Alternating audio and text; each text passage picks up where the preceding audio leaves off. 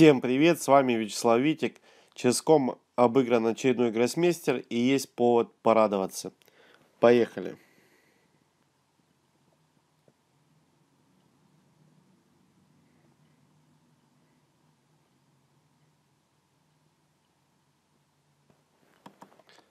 Да, этого гроссмейстера я обыгрываю уже не в первый раз.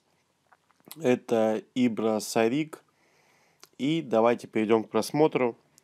Я играл белыми фигурами Е4, D6, D4, конь F6, конь C3, C6, H3, E5 и конь G2. У нас а, получается защита Филидора, конь BD7, G4, H6, слон G2, B5, A3, А6, 2 0, слон Б7, слон Е3, Ж6 и F4. Следует ход ЕД, слон d4 и c5. И в этой позиции я первоначально начал расчет с хода слон f6. Мне казалось это принципиально. И на конь f6 я рассчитывал что-то безумное типа e5, слон g2 и ef. Но вот после слона f1, к сожалению, ничего не обнаружил. И решил банально уйти слоном. Я сыграл слон f2. Но дело в том, что слон f6 сильнейшее продолжение – на коне в 6 ведь можно пойти e5, черный отстает в развитии. И здесь после слон g2, король g2, позиция черных тяжелая, а возможно уже безнадежная. Но приведу примерные варианты. На de можно пойти fe, на конь d7 мы можем пойти ферзь d5. И здесь под боем пешка на f7 и на ладья h7, e6 белые здесь просто выигрывают. Понятно, что конь d7 это ошибка. Можно предложить ход ферзь d1, ладья а d1 и здесь конь d7. Здесь у белых тоже приятный выбор. Можно пойти конь d5, но вполне возможно, что еще сильнее e6. И на f e вновь конь f4. И вот всю тяжесть позиции показывает примерный вариант. 3 0 конь g6, ладья g8, конь f8, ладья f8 и ладья d6.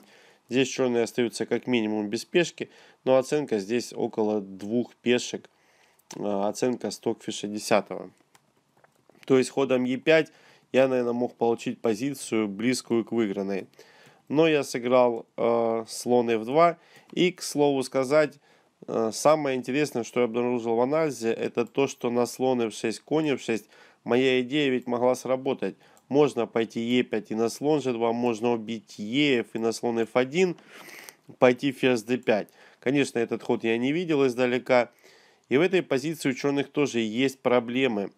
Можно пойти ладья А7 и ладья F1. Мог бы, да, ну отмечу, что а, на Е2 бить нельзя из-за ферзь c6, и там на 8 падает, черные проигрывают. Вот, а после ладья А7, ладья F1, к примеру, ферзь d7, и эта позиция, ну, как минимум, с компенсацией у белых, она, а, по моему анализу, явно лучше у белых. И вообще мог получиться, как мне кажется, блестящий позиционный шедевр – королевский фланг пока не входит в игру. Пешка f6, пешка гвоздь. Ну и дальше фигуры могут заходить. Ферзь на e4, конь на d5. Ладья подключится по третьему ряду. Ну, кому интересно, поанализируйте. На мой взгляд, позиция белых явно лучше. Но вернемся к партии. А, я сыграл слон f2, следует ход b4, а, b, c, b и конь d5. Вот интересный момент. Первая линия движка это ход конь 2 который мне бы и в голову не пришел конь d5, конь d5, ед, слон g7. Здесь мне имело смысл заняться пешкоедством, сыграть ферзь e1. Ну и на 2 0 просто убить пешку на b4. Здесь тоже у белых большой перевес. Я сыграл конь d4, что тоже естественно. Следует 2 0 и конь c6. Здесь, конечно, на стороне белых большой перевес. Все-таки конь на c6 стоит здорово. Следует ход ферзь c7, слон d4 и конь c5. Пожалуй, здесь черным имело смысл пойти слон d4, ферзь d4 и ферзь b6. Да, белые могут выиграть пешку, ферзь b6, конь b6, конь b4. И у них, безусловно, перевес, но здесь все еще далеко не так просто. А дело в том, что после хода конь c5 я хожу f5, и эта позиция, наверное, уже безнадежная. Следует ход слон d4, ферзь d4, а5, и вот вновь интересный момент. Первоначально я начал расчет э, с хода ферзь f6.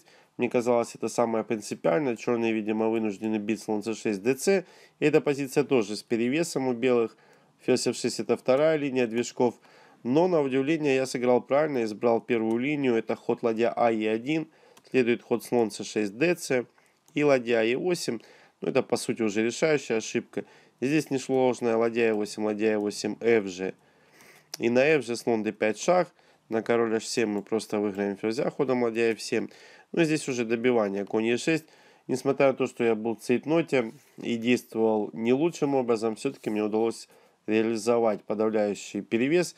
Давайте я быстро промотаю, чем все закончилось. Да, здесь вот где-то я э, допускал, конечно, ошибки.